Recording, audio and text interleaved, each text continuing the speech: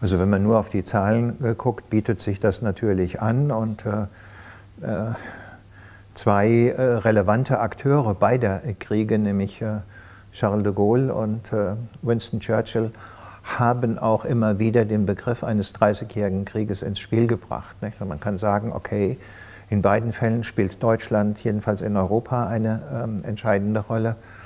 Und der Krieg hat in beiden Fällen auch in Ostasien stattgefunden. Allerdings, da zeigen sich dann schon die Differenzen. Der Krieg in Ostasien äh, ist im Prinzip 1914 zu Ende, weil ähm, Japaner auf der Seite der Entente äh, in den Krieg ziehen und die Deutschen dort keine äh, größere Rolle spielen. Ähm, äh, sodass also das sehr viel stärkere Gewicht ähm, äh, des ostasiatischen und des pazifischen Raums im Zweiten Weltkrieg schon dagegen spricht, so einfach zu sagen, na, das ist ein Krieg.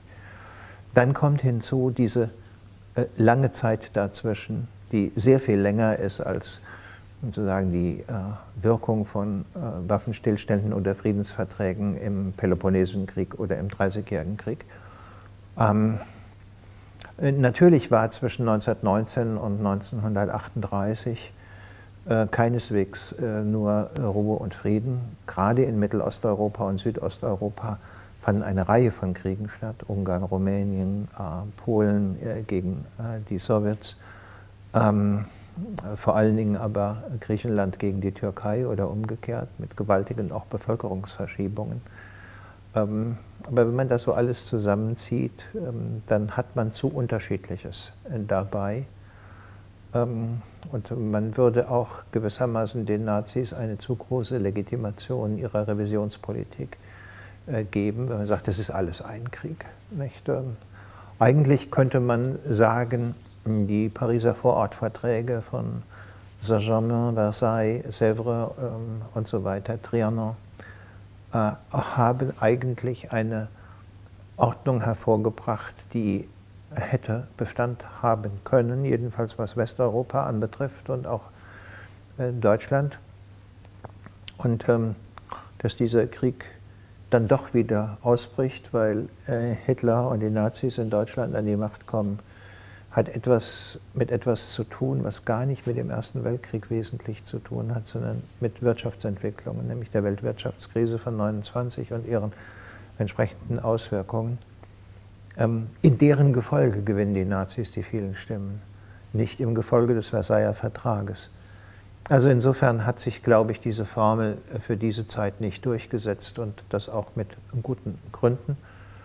Und ähm, die deutsche Sichtweise hat ja immer sozusagen mit den Ordinalzahlen, Erster Weltkrieg, Zweiter Weltkrieg, äh, gearbeitet. Und das hat auch eine gewisse Bedeutung, denn bei so manchen Konflikten späterer Zeit hat man gefragt, wird das der Dritte Weltkrieg? Nicht? Also sozusagen äh, dieses äh, System des 1, 2, 3, 4, 5, 6 hat eine höhere Plausibilität und Ordnungsanmutung gehabt als die Zusammenziehung zu einem 30-jährigen Krieg. Ähm, ich glaube auch, dass hinzukommt,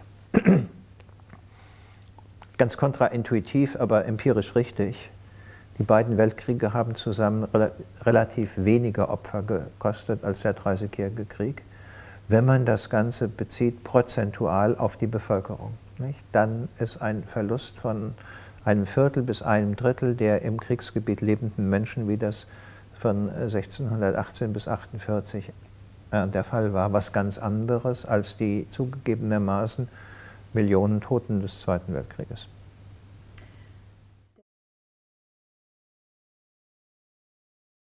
Also Söldner ist ein schwieriger Begriff. Ähm, Im Prinzip gibt es auch noch danach, nach dem Ende des Dreißigjährigen Krieges und das ganze 18. Jahrhundert, eigentlich bis zur Französischen Revolution, bis zur Levée en masse, Söldnerheere. Äh, die letzten tapferen Verteidiger des französischen Königtums sind Schweizer Söldner, die ähm, da zugange sind. Ja, man könnte sagen, die letzte Söldnerarmee in Europa ist die Schweizer Garde im Vatikan. Ähm, also das zeigt sozusagen, wie unter dem Begriff Söldner allerhand Unterschiedliches zusammengefasst wird. Aber was Sie im Auge haben, wenn Sie mich darauf ansprechen, ist natürlich mh, hm, frei flottierende militärische Arbeitskraft, die gewissermaßen nach Beschäftigung sucht. Ähm, und äh, das ist ein Spezifikum des Dreißigjährigen Krieges mit diesen ähm, Männern an der Spitze, die auf der einen Seite Unternehmer und auf der anderen Seite Generäle sind. Da gibt es eine ganze Reihe. Welche, die es ganz allein sind, wie Ernst von Mansfeld, der immer mal wieder sein Generalat niederlegen muss, um wieder äh, bei den Finanziers äh, zu antichambrieren.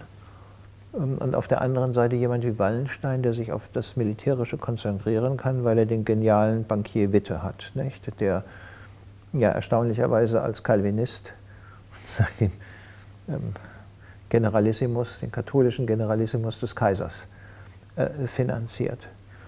So, und wenn wir sagen, die stehenden Heere des 18. Jahrhunderts sind die stehen gebliebenen Heere des Dreißigjährigen Krieges, äh, die nunmehr auf Dauer kaserniert sind und diszipliniert sind.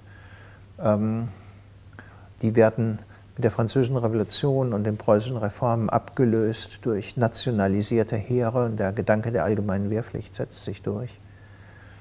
Dann kommen wir im Augenblick zu einer Situation, wo die allgemeine Wehrpflicht tendenziell überall den Vorgaben der postheroischen Gesellschaft entsprechend ähm, entweder ausgesetzt oder ganz abgeschafft worden ist und man sich bemüht, militärische Arbeitskraft einzusammeln. Solange das in Berufsheeren der Fall ist, ist es eigentlich in mancher Hinsicht eine Rückkehr in die Konstellationen des 18. Jahrhunderts, jedenfalls vor der Französischen Revolution.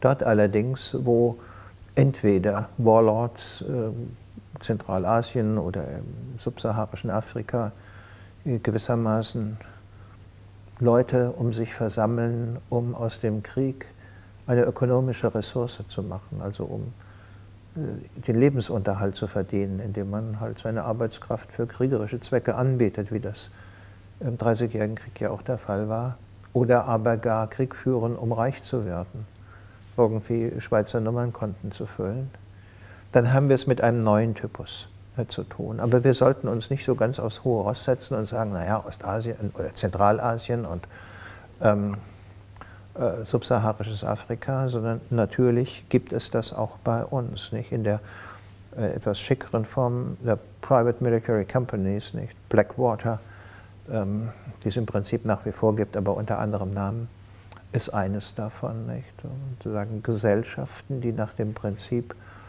ähm, eigentlich der Führung eines äh, modernen Unternehmens militärische Arbeitskraft überall, also vor allen Dingen dort, wo es billig ist, Bangladesch, Sri Lanka, wo, auch immer, äh, Philippinen, ähm, anwerben, um sie ähm, einzusetzen auf den Kriegsschauplätzen. Und äh, vermutlich hätten die Amerikaner den letzten Golfkrieg, also den letzten Krieg gegen Saddam Hussein gar nicht führen können, äh, wenn nicht äh, die gesamte Logistik, also im Prinzip die weichen Ziele, die sie dargestellt haben, mit den auch höchsten Verlustraten mh, von solchen Militärdienstleistern übernommen werden. Das hat für den äh, amerikanischen Präsidenten den großen Vorzug, dass die Gefallenen dieser Art nicht auf seinen Rechnungen auftauchen, sondern irgendwo anders äh, verbucht werden. Mm.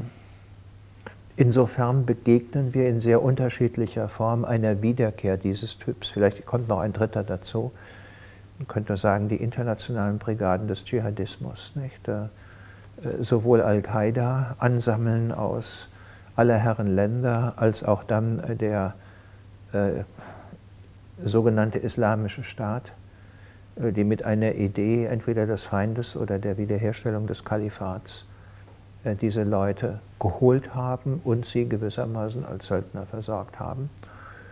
Und die diese Idee des transnationalen Kämpfertums ja auch durchgesetzt haben, bis hin zu unserem Sprachgebrauch. Wir sagen ja heute nicht mehr, wie wir das vor 15, 20 Jahren noch getan hätten, aha, ein Libanese, ein Türke, ein Syrer, ein Iraker, sondern wir sagen, oh Gott, ein Muslim.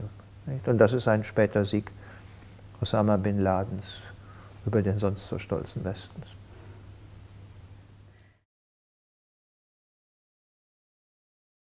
Ja, in, in mancher Hinsicht, weil äh, häufig äh, sowohl die Franzosen als auch die Briten als auch andere ähm, diese Kriege nicht mit eigenen Truppen, ähm, die aus dem Mutterland dorthin geschickt worden sind, sondern mit in den Kolonien rekrutierten äh, Gruppen oder befreundeten Indianerstämmen ähm, äh, geführt haben, die sozusagen die Proxys äh, des 18. Äh, Jahrhunderts äh, wären, wobei dann eher Zahlungen eine Rolle spielen, während im 20. Jahrhundert ideologische Nähen eine Rolle gespielt haben. Wichtig dabei ist, glaube ich, auch noch festzuhalten, dass die Entstehung des Kriegsvölkerrechts, also die Regulierung des Krieges, ähm, eigentlich auf Europa, und zwar auch hier das christliche Europa, denn die Türkei war nicht ein Bestandteil der westfälischen Ordnung, beschränkt blieben. Und dass man gesagt hat, na, also die Kriege gegen die Wilden oder jedenfalls diese Leute da in den Kolonien, die werden nach völlig anderen Prinzipien geführt als die innereuropäischen Kriege. Man kann das noch in der Hager Landkriegsordnung sehen, wo die ähm, Briten sich ausbedungen haben, dass sie äh, in ihren Kolonialkriegen Dum-Dum-Geschosse verwenden dürfen. Dum-Dum-Geschosse zeichnen sich dadurch aus, dass sie eine instabile Flugbahn haben, aufgrund bestimmter Einkerbungen in dem Projektil und beim Auftreffen auf den menschlichen Leib besonders tiefe Wunden reißen, die eigentlich nicht nötig sind, um jemanden außer Gefecht zu setzen. Aber die Briten haben gesagt, ja, also mit diese, diese Wilden, mit denen wir zu tun haben, äh, die wissen nicht, dass wenn sie verwundet sind, sie aus dem Geschäft, äh, Gefecht ausscheiden sollten. Und äh, deswegen brauchen wir Dumm-Dumm-Geschosse. Und eine der Diskussionen im Übrigen des Ersten Weltkrieges ist der deutsche Vorwurf immer wieder an die Briten, ah, sie hätten dann doch Dumm-Dumm-Geschosse in Europa an der Westfront eingesetzt und deswegen seien es alles notorische Kriegsverbrecher, während die Briten über die Deutschen ihrerseits ihre äh, Geschichten von Kriegsverbrechen erzählen. Ähm, die Hoffnung war, dass äh, nach 1918 bzw. 1945 mit dem Völkerbund respektive der Vereinten Nationen eigentlich dieses europäische System erweitert, äh, um die Vorstellung ähm, des Kriegsverbots allgemein durchgesetzt wird. Das ist nicht gelungen.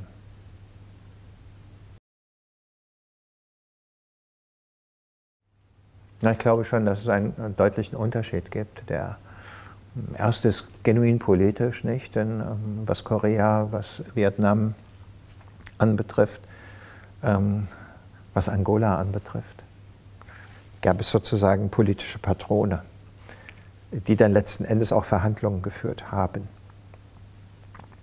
Wenn Sie hingegen Kriege äh, ins Auge fassen, bei denen gar, man gar nicht so genau weiß, wer ist denn die Gegenseite, wer ist denn da verhandlungsfähig und sind die Verhandlungsergebnisse auch so, dass die kollektiv bindend sind für alle, die daran beteiligt sind, ähm, dann zeigt sich hier schon die Differenz. Nicht? Und dass diese Kriege oft immer weiter, weiter, weiter, weiter gehen, hat auch damit was zu tun, dass die sich wechselseitig nicht trauen und äh, nicht zutrauen, Friedensschlüsse, die verbindlich sind, herzustellen. ähm, es kommt aber noch ein weiterer Unterschied hinzu, und das ist der der Ökonomie. Hm, in den Stellvertreterkriegen lieferten im Prinzip die USA und die NATO, respektive die Sowjetunion und der Warschauer Pakt, so etwas wie eine Ideologie, Waffen und Geld. Das heißt, sie hatten letzten Endes die Möglichkeit, auf die in anderen äh, Gebieten, in den peripheren Zonen äh, Kriegführenden einzuwirken. Ähm, das haben wir heute nicht mehr. Diese Akteure stehen nicht mehr unter irgendeiner Kontrolle. Sie sind nicht auf Geld angewiesen, weil sie offene Kriegsökonomien haben, äh, durch die Koalition von Warlords mit der international organisierten Kriminalität, also den Handel mit illegalen Gütern. Rauschgift ist da ein besonderer Punkt, aber das können auch äh, Diamanten sein oder Edelhölzer, vor allen Dingen auch Frauen.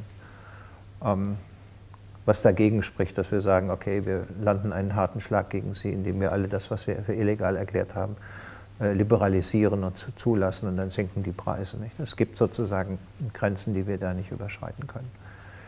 Und äh, diese Offenheit der äh, Kriegsökonomien, gewissermaßen die Verbilligung der Kriegsführung auf deren Seite, führt dazu, dass die tendenziell in die Schattenkanäle einer global, globalisierten der Weltwirtschaft eingelassen sind und ähm, darin sich äh, munter entwickeln und fortzeugen ähm, und es niemanden gibt, der sagt, jetzt ist aber gut. Nicht? Äh, und äh, wir haben mit der Gegenseite, also Washington oder Moskau oder wem auch immer, ausgehandelt, äh, dass da jetzt Waffenstillstand herrscht. Und dann herrschte bei den Proxy Wars auch Waffenstillstand. Und das ist heute nicht mehr der Fall. Und das ist, denke ich, eine der, eine der fundamentalen Veränderungen. Man kann sagen, Krieg hat sich aus einem Mittel der Politik im Sinne der Durchsetzung von Interessen oder geostrategischen Vorstellungen verwandelt wieder in eine ökonomische Ressource. Äh, diese Akteure leben vom Krieg. Und äh, wenn sie das über Jahre und Jahrzehnte tun, dann können sie auch nichts anderes als vom Krieg leben. Das heißt, das große Problem ist, wie dankt man sie ab? Nicht? Man kann einen Frieden schließen, aber was macht man mit den Leuten, die nichts anderes können, als Gewalt anzuwenden? Ähm, als Deutsche würde man sagen, man verwandelt sie in Beamte. Nicht? Äh, Beamte sind äh, eher friedfertig und äh, müssen sich auch nicht um ihre Zukunft sorgen, weil der Staat für sie sorgt. Aber das kann ja keiner bezahlen. Also ist das ein vielleicht schöner Vorschlag, ein effektiver Vorschlag, aber einer, der nicht finanzierbar ist.